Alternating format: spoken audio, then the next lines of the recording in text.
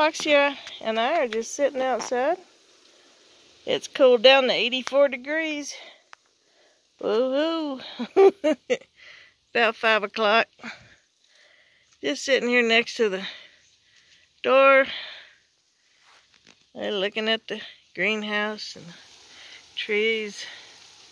Leaves are getting a little bit sparse now. We had a little bit of fall weather there for almost a week.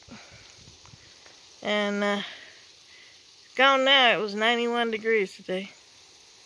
But anyway, I was sitting here. I'm looking just like I'm looking right now. And I, I looked over that way and over that way.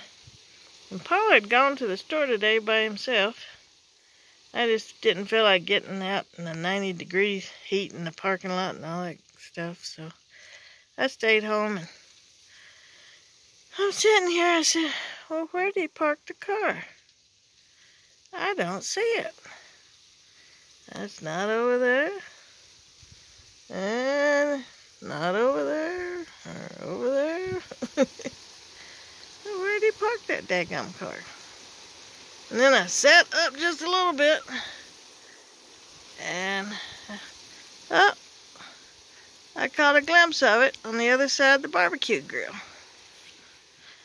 Well, what's funny is you don't think you could hide a car behind a barbecue grill.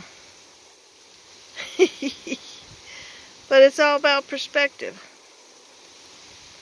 And, uh, when something's really close by, even though it's smaller than what you're looking for, if it's too close, you can't see what it is that you, you're looking for because of perspective. Sometimes life is like that. What we're looking for is really close, but something is in the way.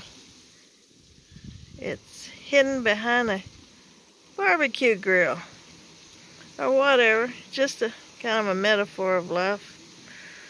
Sometimes what we're looking for is hidden by the smallest things in our life. Sometimes we have to have to lean up a little bit or look around the other way and get a better perspective.